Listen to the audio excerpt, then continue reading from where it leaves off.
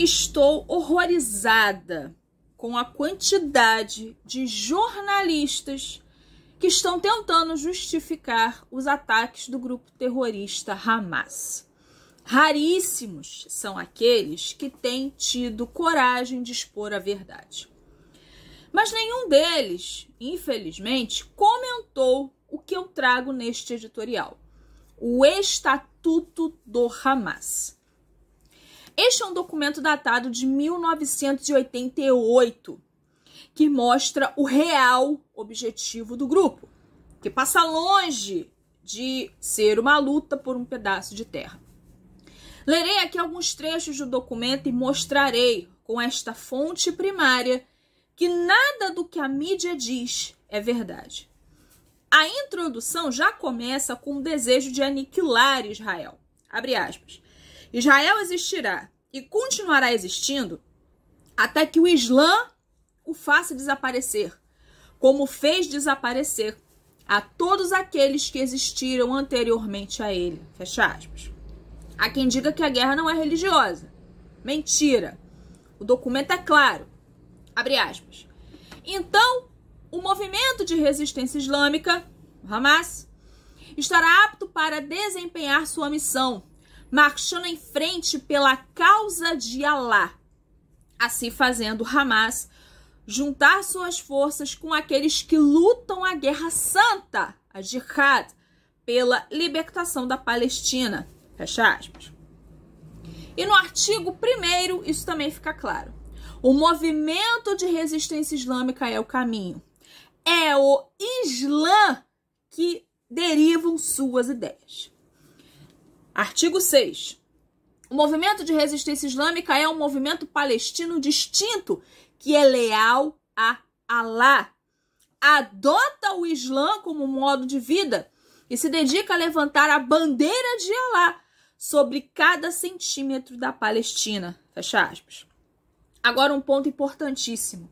Aqui está a prova de que os conservadores, ao condenarem a imigração irrestrita, sempre pensaram na proteção e na soberania de seus países. No artigo 7 está escrito o seguinte: em todos os países do mundo encontram-se muçulmanos que seguem o caminho do movimento de resistência islâmica e tudo fazem para o apoiar, adotando seu posicionamento e reforçando sua guerra santa, a jihad. Isso ficou claro com imagens do mundo inteiro de palestinos residentes em países do Ocidente comemorando os ataques do Hamas.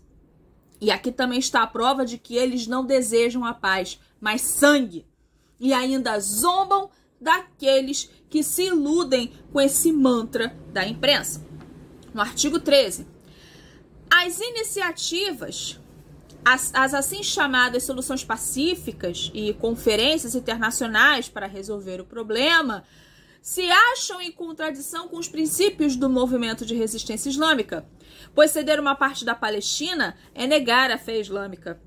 Não há solução para o problema palestino a não ser pela jihad. Iniciativas de paz, propostas e conferências internacionais são perdas de tempo e uma farsa. Até o Hamas reconhece a importância da arte para a propagação de suas ideias de forma camuflada pelo mundo. Abre aspas. Os livros, artigos, panfletos, sermões, epístolas, canções tradicionais, poemas, cantos patrióticos, peças, etc., detendo as características da arte islâmica, são meios necessários para a doutrinação. Fecha aspas. Uma informação importante que ninguém da mídia comentou até agora.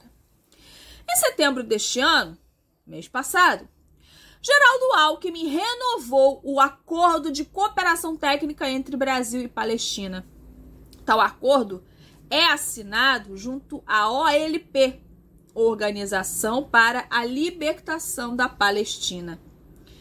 Vejamos o que o Hamas diz a esse respeito.